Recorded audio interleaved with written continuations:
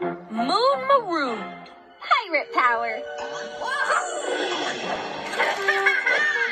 We're in Hornswoggle. Now let's boot up and search for treasure. He's on top. Every time, every time.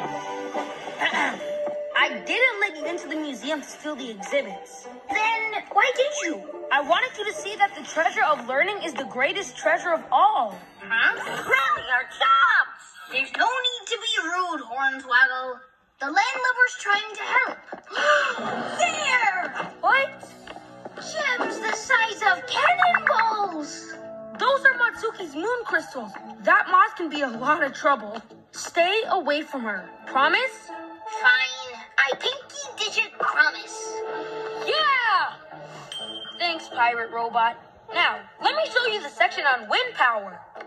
It doesn't compute if I has me scurvy fingers crossed.